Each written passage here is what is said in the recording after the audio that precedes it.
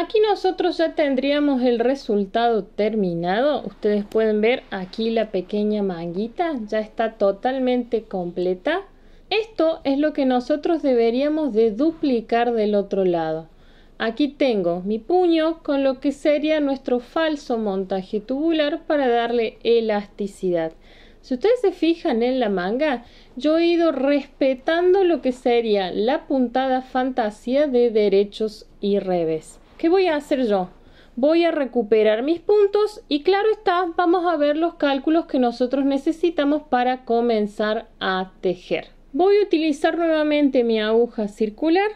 Voy a empezar a desatar lo que sería el nudito doble que yo he dejado aquí. A ver si se ve el nudito desarmo este nudito doble lo hago ahí muy lentamente para que se vea y después voy a retomar todos estos puntos en mi aguja circular yo lo que voy a hacer es ir con cuidado tironeando mi hilo y van a empezar a saltar mis puntos entonces para evitar que los puntos se pierdan voy a poner la aguja circular justo debajo de lo que sería el primer punto. Y con mucho cuidado vamos a ir tironeando. Ahí se liberó el punto. Quiero que lo vean al punto. Entonces ahí vamos a ir retomando todos nuestros puntos. Cuidado con esto porque si ustedes dejan caer la puntada se me va a entrar a destejer, ¿sí?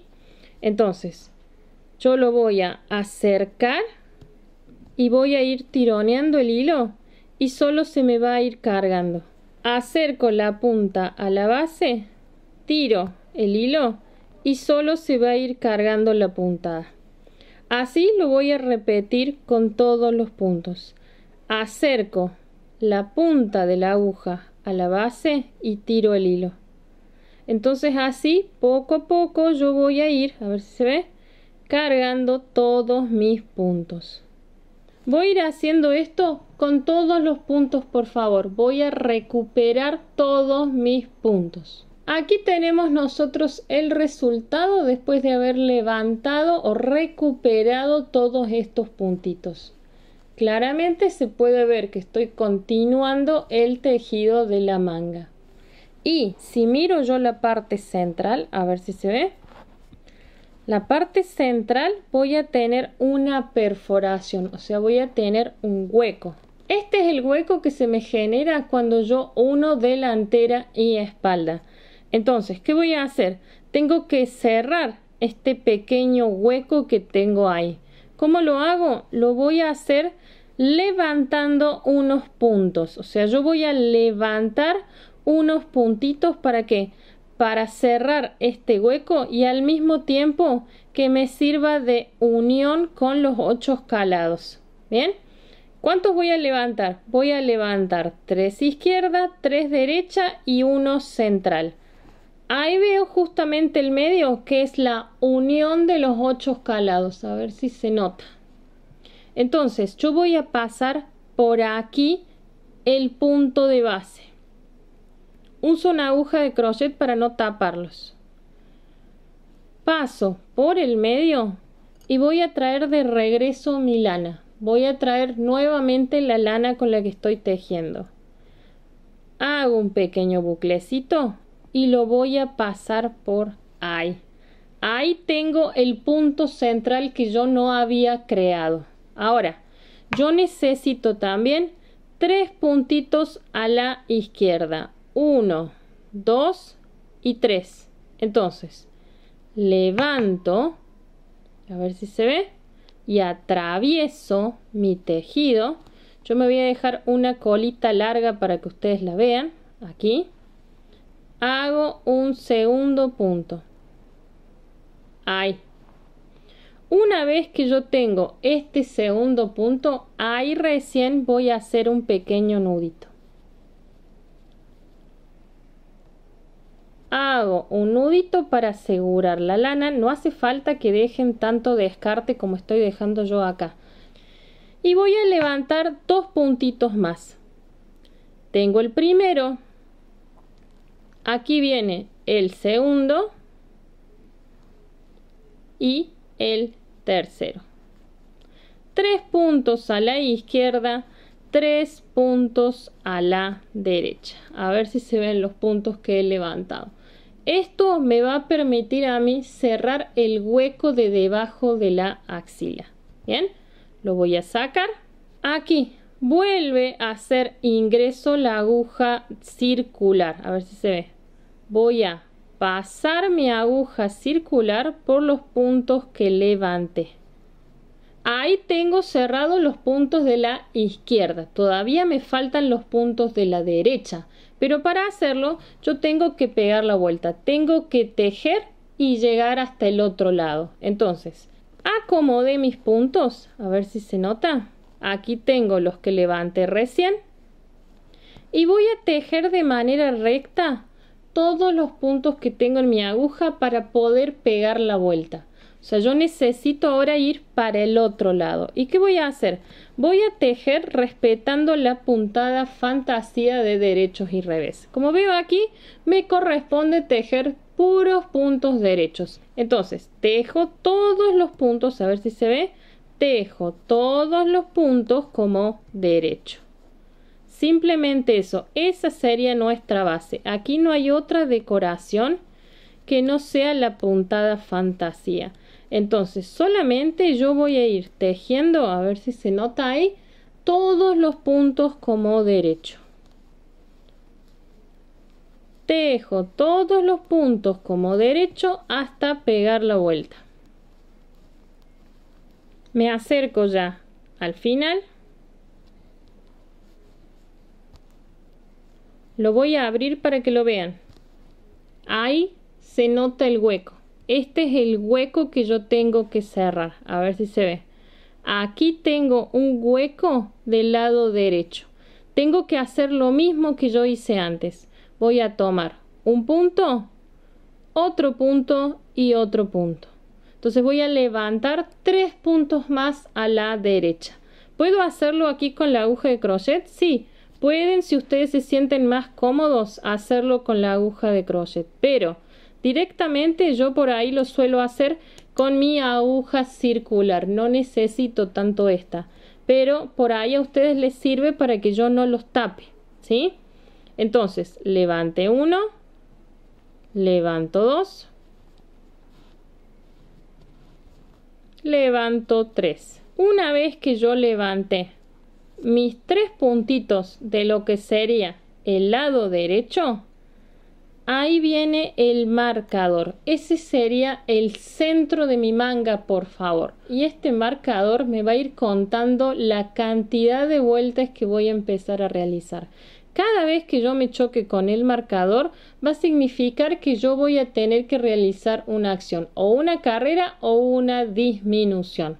Entonces, aquí yo ya tengo lo que sería mi base para comenzar a tejer la manga. Para tejer la manga yo ya debería de haber calculado lo que sería el largo de la manga y el puño.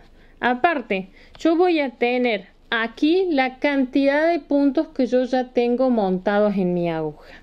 Vamos a ver el puño rápidamente. Recuerden, todo esto se hace con lo que sería la muestra 10 x 10 y la regla de 3 simple. Si 10 centímetros de lo que sería mi tejido son 24 puntos, ¿cuántos son 11 centímetros de puño? Entonces hago 11 por 24 dividido 10 y me va a dar a mí 26.4. Estos 26.4 como tiene un decimal inferior a lo que sería 5, me voy a quedar solo con la unidad, con 26. Entonces, yo voy a tener 26 solamente de este lado, de la parte de adelante del puño. Pero yo quiero el completo. Entonces, esos 26 yo los voy a multiplicar por 2. Y ahí yo voy a tener la medida completa de la cantidad de puntos que yo tengo en mi puño. Voy a tener 52 puntos. Bien, eso es a donde yo tengo que llegar. Aparte, haciendo exactamente lo mismo, yo voy a sacar lo que sería el largo de la manga. ¿Qué sería esto? Desde la axila hasta la base del puño, por favor. Siempre es así. yo saco la medida de la axila hasta lo que es el largo del puño y yo lo voy a tener esa medida en mi patrón. El patrón me dice que mide 25 centímetros. Entonces yo voy a calcular cuántas hileras tengo ahí porque esto sería altura. Si 10 centímetros son 36 hileras, ¿cuántos son 25 centímetros? 25 por 36 dividido 10. Yo voy a tener que realizar 90 hileras. Pero recuerden por favor, cuando yo trabajo las disminuciones, el puño es la parte que jamás tiene disminución. La disminución va desde arriba de lo que sería el elástico del puño hasta la axila. Entonces yo tengo que restarle la cantidad de hileras que voy a tener de elástico simple. Eso yo ya lo había calculado y yo iba a tener que restarle a esto 11 hileras de lo que sería el puñito en sí. Entonces yo voy a tener que trabajar 79 hileras desde arriba del elástico hasta la axila. Ahí tengo que hacer 79 hileras. Sé la cantidad de hileras que voy a ocupar desde la axila hasta arriba del elástico. Lo que yo no sé es cuántas disminuciones tengo que hacer. Eso es fácil. Cuento la cantidad de puntos que tengo, que en mi caso son 80, y a eso le voy a restar la medida del puño, que son 52. Yo voy a tener 28 puntos de diferencia, pero generalmente las disminuciones también las hacemos una al lado de la otra. Hago dos disminuciones. Entonces, esto lo divido por 2 y yo voy a tener que realizar 14 disminuciones. Ahora, Sé cuántas disminuciones tengo que hacer. Lo que no sé todavía es cada cuántas hileras las tengo que hacer. Yo dije que acá iba a ocupar 79 hileras. Esas 79 hileras las voy a dividir por la cantidad de disminuciones que hago, que son 14, y voy a tener que realizar estas disminuciones cada 5 hileras. ¿Estamos? Entonces tengo que tejer 5 hileras la primera va a tener disminución y desde la 2 hasta la 5 voy a tener que realizar simplemente tejer todos los puntos como se presentan. Pero cuidado, aquí hay un decimal. Ese decimal no lo tengo que dejar libre. Si yo digo, tengo que hacer 14 disminuciones cada 5 hileras. Yo voy a ocupar solamente 70 hileras. ¿Yo cuántas necesitaba ocupar? Yo necesitaba ocupar 79. Yo aquí llegué a la cantidad de puntos que necesito, que son los 52. Pero de todas maneras me faltarían hileras para llegar a la distancia que yo necesito. Entonces, con estas 14 disminuciones cada 5 hileras, llego a la cantidad de puntos. Pero me van a faltar a mí nueve hileras o nueve carreras para llegar a la distancia que yo necesito, desde la axila hasta arriba de lo que sería el elástico del puño. Entonces, una vez que yo termine con las disminuciones, cada cinco hileras, voy a tejer nueve hileras más sin ninguna disminución, porque yo ya llegué a los puntos. Entonces, yo voy a tejer 14 disminuciones y después 9 hileras rectas para llegar a la distancia que necesito que eran 79 hileras. Siempre como ayuda a memoria, por favor, márquense en algún lado la cantidad de disminuciones que ustedes van a hacer y van tachando en qué disminución están. Aparte, ayúdense con botones o con marcadores. Hilera número 1, disminución a cada lado. Después de la 2, 3, 4 y 5, simplemente voy a tejer todos los puntos como se presentan. Arranco el primer combo. Hilera número 1, disminución. Aquí tengo mi tejido nuevamente, aquí me había quedado yo, me había quedado en la ubicación del marcador. Recuerden, este me marca el centro básicamente justo debajo de la axila. Con esto voy a contar la cantidad de hileras. Entonces, voy a tejer mi primer punto, a ver si se ve, este primer punto que yo tengo aquí, Y después de tejer el primer punto, este y el siguiente los voy a disminuir. O sea, yo voy a hacer una disminución. Los voy a tejer a los dos como si fueran uno. Entonces, tomo esos dos puntos, atravieso, a ver si se ve, los dos y los voy a tejer como si fueran uno, respetando la puntada que estoy realizando, que es puro puntos derechos. Bien, ahí tengo mi primera disminución. ¿Qué sigue?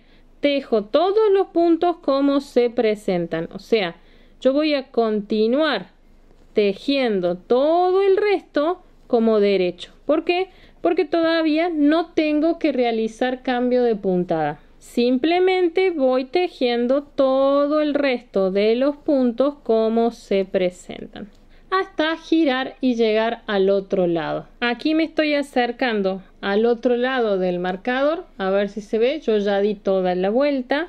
Voy a parar cuando tenga tres puntitos. Tengo tres puntitos de este lado, por favor. Los primeros dos los voy a disminuir y el último va a ser la base para continuar tejiendo. Entonces, aquí como estoy en la hilera número uno, tengo que volver a hacer una disminución del lado derecho como lo hice del lado izquierdo. Tomo dos puntos y los tejo como si fueran uno. Bien, una vez que tejí mi disminución, tejo, a ver si se ve, el último punto que yo tengo ahí paso marcador, marcador indicaba que yo tenía una hilera o una carrera nueva.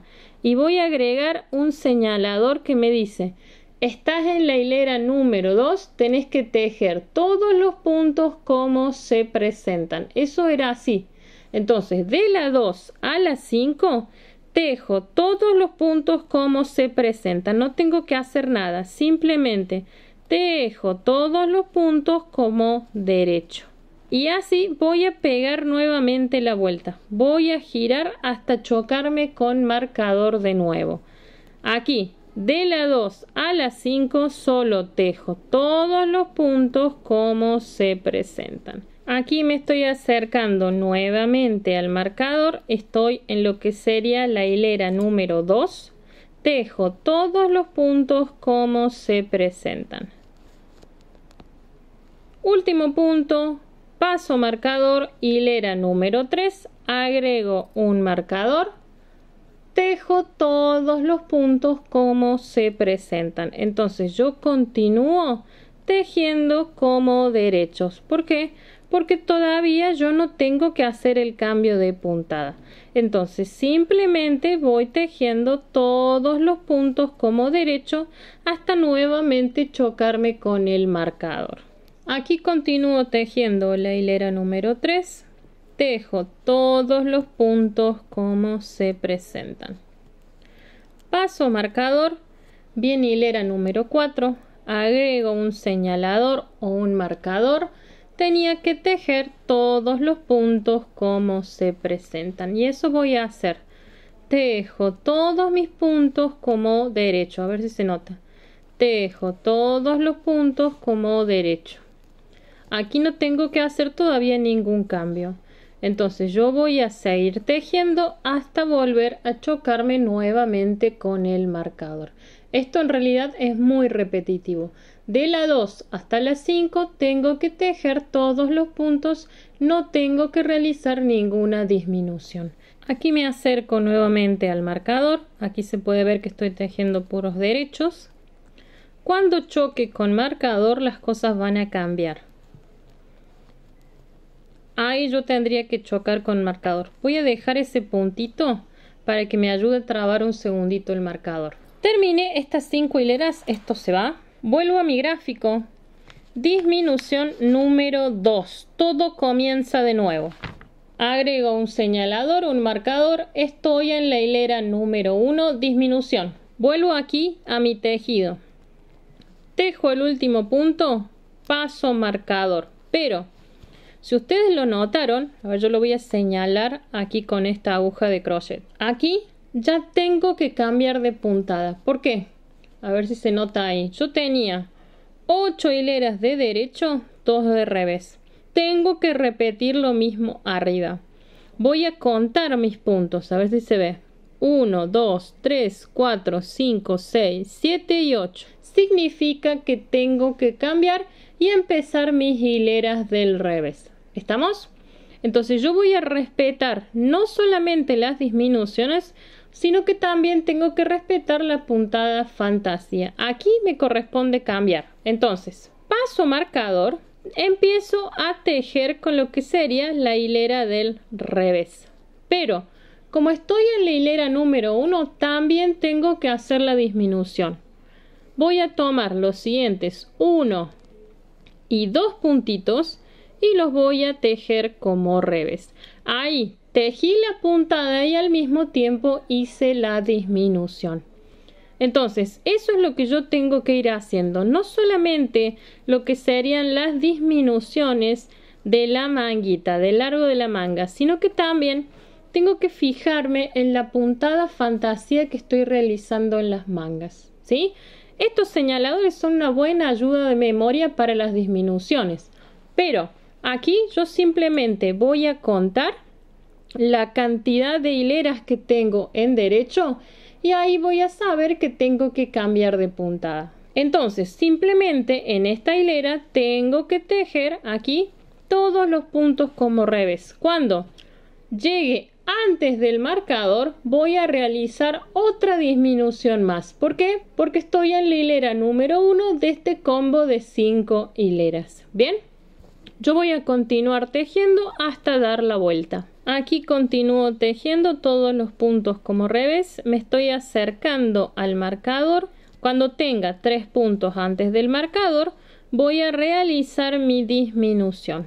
Aquí tengo tres puntos. Voy a tomar uno y dos puntos y los voy a tejer como revés. Así realizo yo mi disminución. Tejo el último punto. Pasa marcador, hilera número 2 de este combo de 5 hileras, agrego un señalador, tejo todos los puntos como se presentan. Entonces, paso marcador, tengo revés, son dos hileras de revés la puntada y voy a respetar siguiendo la misma puntada. Es otra hilera de revés, así voy a tener la misma decoración que seguía teniendo yo en las manguitas. ¿Sí? Entonces yo voy a tejer esta hilera del revés hasta llegar al otro lado del marcador. Aquí continúo tejiendo esta última hilera de revés. Cuando choque con marcador las cosas cambian otra vez. Paso marcador hilera número 3 agrego un señalador. Tengo que tejer todos los puntos como se presentan pero tengo que volver a lo que sería la puntada de derecho ¿por qué? yo aquí ya respeté estas 10 hileras de puntada fantasía. Tengo que volver a comenzar. Ahora voy a comenzar lo que sería las 8 hileras de derecho Simplemente tejo todos estos puntos como derecho. Vuelve a comenzar toda esta puntada fantasía. A ver si se nota. Bien, yo volvería a realizar esto. Yo estaría supuestamente aquí.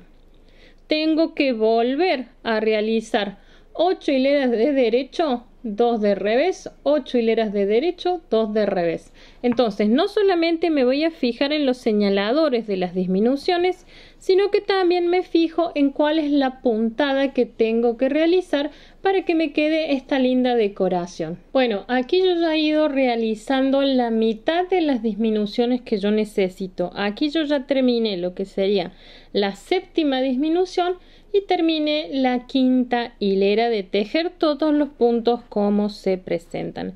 Aquí se puede ver como también he continuado lo que sería esta puntada fantasía de derechos y revés.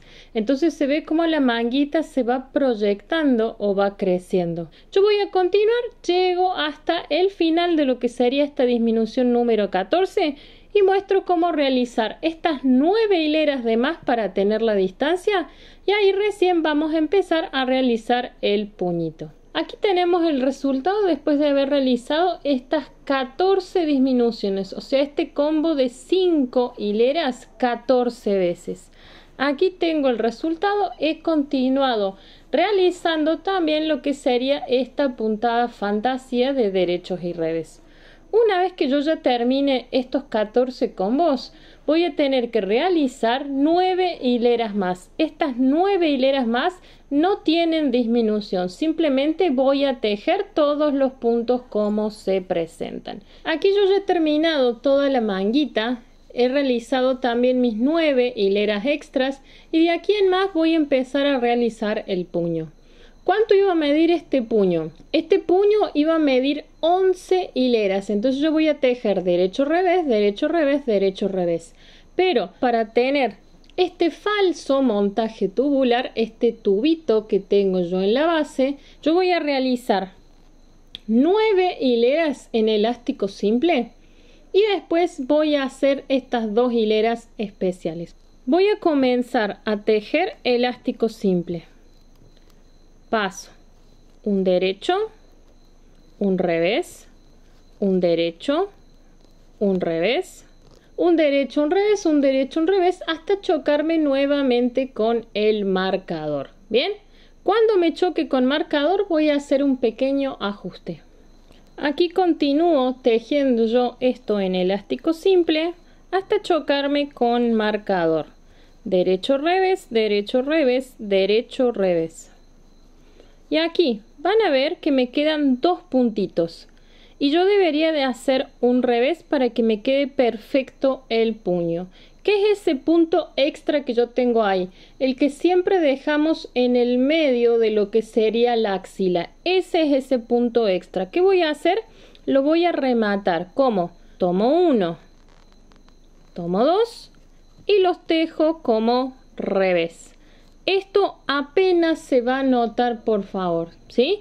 Tengo derecho revés, derecho revés, derecho revés. Entonces voy a continuar realizando elástico simple durante nueve hileras o nueve carreras para tener la altura del puñito. Después voy a hacer dos hileras especiales para poder hacer este pequeño falso montaje tubular. Después de eso, ¿qué nos quedaría? Simplemente pegar los botones. Entonces yo aquí voy a continuar realizando elástico simple durante estas nueve hileras o nueve carreras. Aquí ya estoy llegando al final de mi novena y última carrera de lo que sería elástico simple. Paso marcador y de ahora en más yo voy a comenzar estas dos hileras especiales para hacer el falso montaje tubular. ¿Cómo sería? Voy a tejer un punto, voy a saltar un punto. Tejo un punto, salto un punto. Pero va a variar porque estoy trabajando de manera circular. En esta primer carrera, o sea, la primer carrera o la primera hilera, voy a tejer el derecho, pero voy a pasar el revés. Ahora, siempre tengo que mover el hilo, ¿sí? Tejo derecho, hilo adelante, paso sin tejer el revés. Voy hacia atrás, tejo el derecho, hilo adelante, paso el revés. Ese sería mi primera hilera y voy a realizar esto hasta llegar al final. Tejo derecho, paso revés, pero muevo el hilo. Aquí continúo realizando lo mismo, tejo derecho, paso revés, tejo derecho, paso revés y la cosa va a cambiar cuando yo llegue al marcador. A ver si se ve. Paso marcador y aquí la cosa cambia porque estoy tejiendo de manera circular. La manga esta no tiene costura. Entonces, como estoy tejiendo de manera circular, ahora voy a hacer la opción contraria. Esta segunda hilera va a ser paso el derecho, tejo el revés, paso derecho, tejo el revés. Y así voy a generar la flexibilidad para tener este falso montaje tubular. Entonces, hilo hacia atrás, porque estoy en derecho, paso el punto derecho. Hilo adelante, tejo el revés. O sea, es lo contrario a lo que estaba haciendo antes. Paso derecho, hilo adelante, tejo el revés paso derecho, hilo adelante, tejo el revés. Pero siempre tengo que hacer el movimiento del hilo. Entonces aquí yo voy a terminar esta hilera y cuando lleguemos al marcador voy a coser. Llego a marcador, marcador no me sirve más, voy a acomodar esto. Este sería nuestro resultado, ahí vamos a empezar a tener una gran flexibilidad, pero yo tengo que cerrar estos puntitos con una aguja de coser lana, solo así consigo esa forma de tubito. Aparte, necesitaba estas dos hileras especiales. ¿Cuánto hilo yo tengo que tomar? Voy a tener que tomar dos medidas y media de lo que quiero coser. Dos medidas, a ver si se ve, y media. Corto. Aquí tengo enhebrada mi aguja y voy a comenzar a coser. Es importante el movimiento que voy a hacer yo con mi aguja para coser. Ahora, si yo tengo punto derecho, la aguja va a pasar de derecha a izquierda, pero si el punto que quiero coser es revés, la aguja tiene que pasar de izquierda a derecha. Eso es muy importante, por favor. Si es derecho, de derecha a izquierda. Si es revés, de izquierda a derecha. Bien, arranco con el primero. Es derecho. Pasa de derecha a izquierda y paso el hilo tengo un revés en mi aguja, a ver si se nota, es un revés en mi aguja y la aguja tiene que pasar de izquierda a derecha y paso. Ahora, esto se me ha acomodado así. Tengo el derecho adelante y el revés atrás. Siempre pasa lo mismo. Una vez que yo cosí los primeros dos puntos, de ahora en más voy a tomar pares de puntos. Me fijo cuál tengo en mi aguja, que en este caso es derecho, y tengo que ir al punto de adelante. Si fuera revés, voy al punto de atrás. En este caso tengo derecho, busco el último punto que yo cosí, que está delante, y voy a meter mi aguja en el medio de la última puntada. A ver si se ve. Esta es la última puntada. Lo meto en el medio de la última puntada y voy a tomar el punto de la aguja. ¿Cómo lo tomo? De derecha a izquierda porque también es derecho. Saco el punto y paso el hilo. Así voy a ir generando el tubito. Miro mi aguja de nuevo. Es revés. Tengo que ir hacia atrás. Aquí. Tengo que buscar mi último punto revés cosido, que es ese.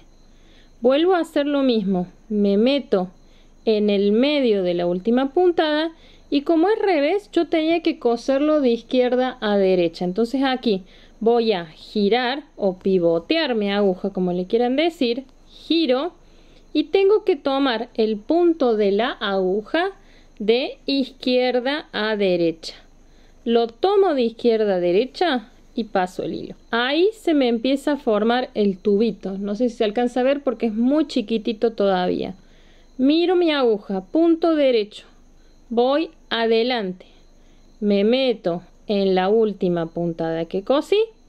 Derecho, de derecha a izquierda, saco, paso hilo. Revés. Voy hacia atrás. Busco la última puntada. Me meto en el medio. Revés. Giro. De izquierda a derecha. Tomo el punto lo saco y paso. Y así voy a ir cosiendo todos los puntos por favor. Ahí ya se empieza a notar este tubito. Entonces voy a coser de esta manera todos los puntos de mi aguja circular. Aquí ya estoy llegando al final, miren el poquito hilo que me queda, yo siempre tomo la medida justa, pero si ustedes tienen miedo de quedarse cortos, utilicen tres medidas de lo que van a coser. Todo esto en realidad depende de la mano de la persona que está cosiendo. Últimos dos puntos.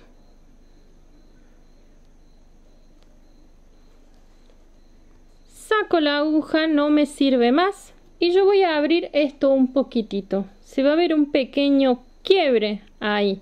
Este huequito es el inicio y el final. Entonces yo voy a cerrar también los dos derechos y los dos revés. Tomo un derecho y otro derecho y paso mi hilo. Giro. tomo el revés y tomo el otro revés.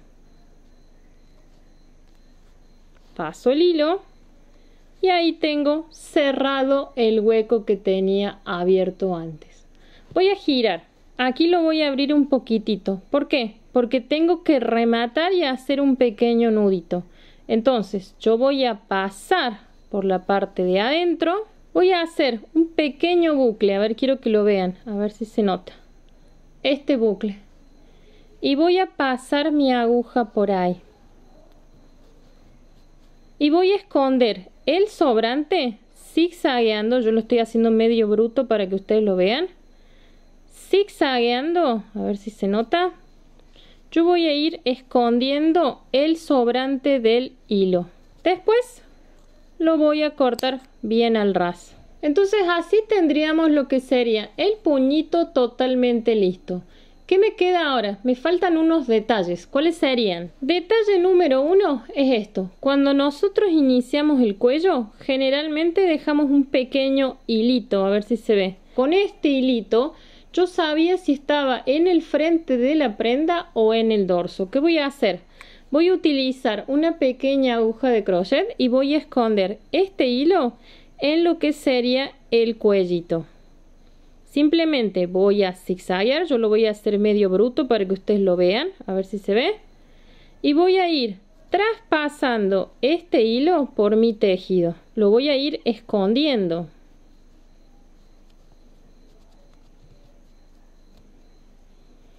Una vez que yo llegue al borde gordito, lo voy a meter en la parte del medio, en la parte de adentro, pero no se tiene que ver en ninguno de los dos lados. Yo lo meto justo en la parte del medio de ambas capas de tejido.